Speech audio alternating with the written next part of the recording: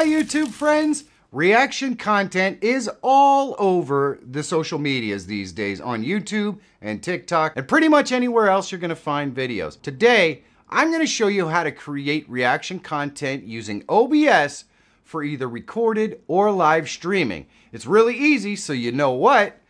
Let's get to it! Now there's a couple of plugins I'm gonna show in this video. There are links in the description down below so you can download them. They're all totally free Check them out for yourself. Let's not waste any time. We're going to jump right in and set up our reaction live stream. The first thing we're going to do is set up our new streams streaming stuff. And to do that, we're going to create a new profile because I'm not going to assume that you don't already stream to other places. So we're going to go into profile. We're going to go new. We're going to call this React. And we want to show the auto configuration wizard because it's the easiest way to set things up. We'll click OK. If you're doing this to set up a stream, then you want the top one. If you're doing this so that you can record reaction stuff to release it later, you can select this one. For this particular case, we'll go with streaming. We're going to click next. We want 1920 by 1080, either 60 or 30 when possible. We're gonna click next. Now we wanna select where we're gonna stream. I'm gonna go to YouTube and you can connect to the account, all that stuff. That's fine if you want to. I'm just gonna go ahead and slap a stream key in here and then I'm gonna go ahead and click next. It's gonna test our live stream to see what we can actually do. We're all set. Okay, so what do we have here? Uh, our backup server, YouTube service, perfect. Multi-track video, no, perfect. Video bit rate, 10,000. Little on the strong side. I'll get into that in a second. Our hardware encoder is using NVENC perfect. High quality, 1080, 1080, and 60 frames per second, which is a little high for me. So I'm gonna go ahead and apply these settings, and then I'm gonna go into settings, and I'm gonna fix some things that I don't like. We're gonna go into output, we're gonna go down here and go to advanced. For some reason, it puts us in X264. We're gonna select our video encoder. There we go. And I don't think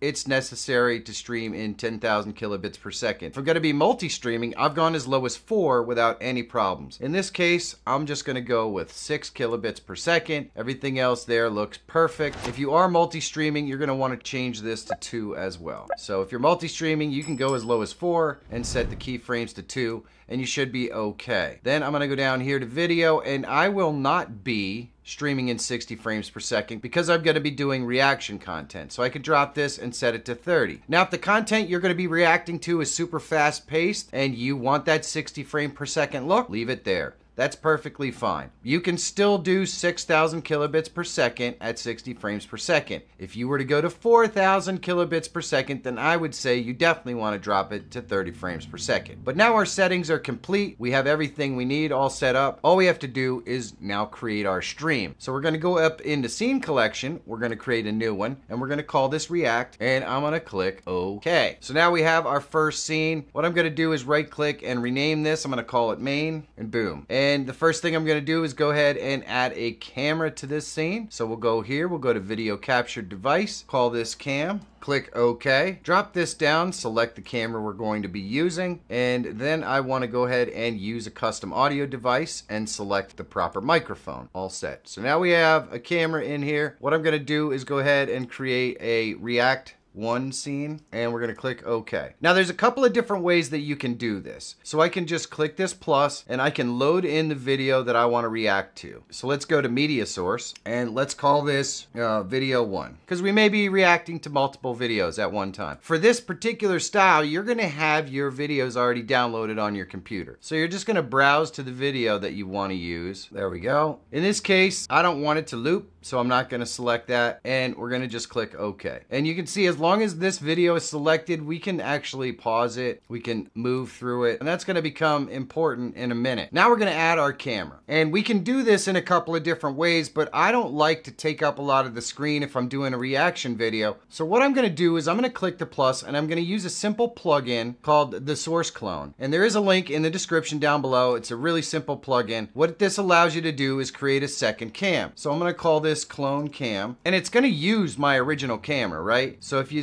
look here, the clone type is a source, and that source is going to be our cam. We want to use the audio, and we're going to click OK. So now we've got our camera in here, but we can modify it. So I can right click on here, and I can go into filters, and I can click the plus, and I can add the simple NVIDIA background removal. Is it perfect? No, not even almost. But it's gonna work for a reaction video. And then I'm gonna click close. And so now we are in front of our screen. We can move us wherever we want. So now we've got our main and you can see that our background is not removed in our main.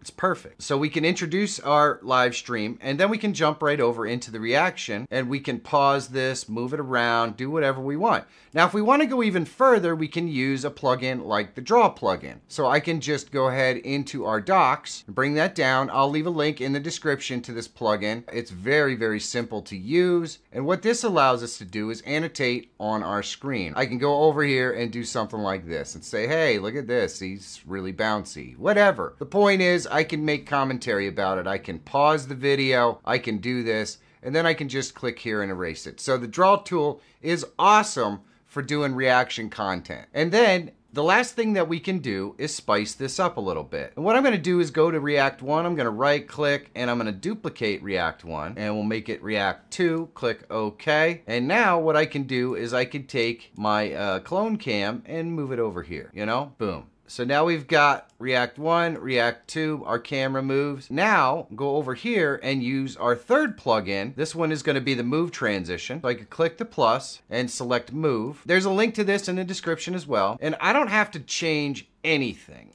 Boom. I'm done. I can now, look at that. I'll just slide back and forth if I select different ones of these.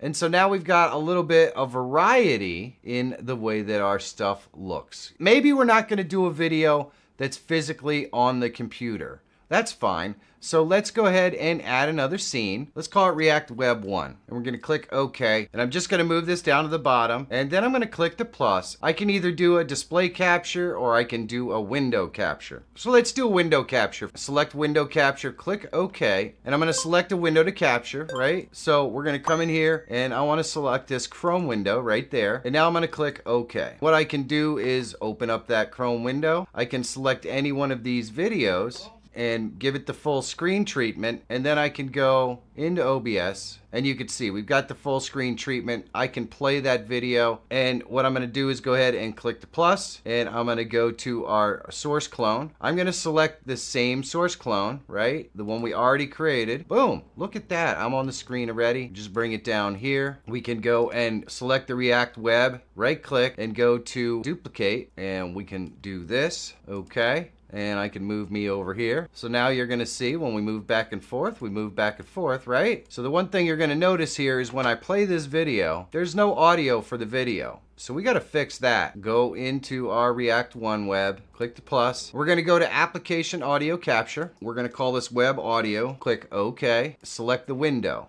which is this one right here, right? And we're going to click OK. And we've got to do the same thing here because we uh, duplicated it. So we got to add that and then we're going to use the existing, the web audio, boom. So now when we play this, you can see we're getting the web audio. So we can adjust that audio, we can do whatever. We're going to have to obviously play the video over here, get it kick in and get it playing, but we can also pause those videos, right? And I can do a little uh, drawing on the screen, all that sort of stuff. We can erase it up. We can select different things. Maybe we want to do the pencil and we want to play this little game right there. Boom.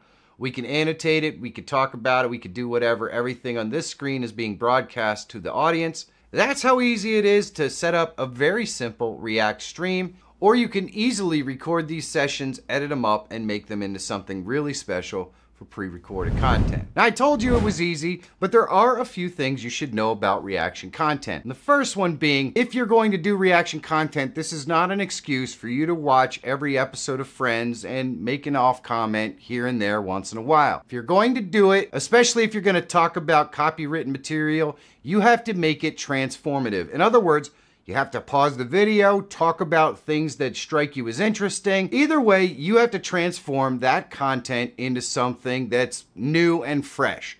You can't just watch someone else's content and occasionally make a comment about it. That's not how it works, and you will get content strikes if that's what you're going to do. Secondly, it's really easy to just copy what everyone else is doing, but I would definitely encourage you to make your reaction content something unique and interesting. Maybe just choose a different type of content to react to, something like that. But if you're going to do the same thing as what everyone else is doing, I'm pretty sure you're going to have poor results. So be transformative, be interesting, be funny, be exciting, be controversial, but be different. And you're probably going to get seen. Now, if you want to see me do this video for vertical format, if you're going to do something like TikTok, let me know down below in the comments. Also, if you want to see videos on some of the plugins that I added in today, well, here's a couple right here. And if you're always looking for tools, tips, and tricks to help make you a better live streamer or YouTuber, subscribe to the channel. My name is Michael Feyrer Jr. Thank you so much for watching. Have a great day, and I'll see you in the next one.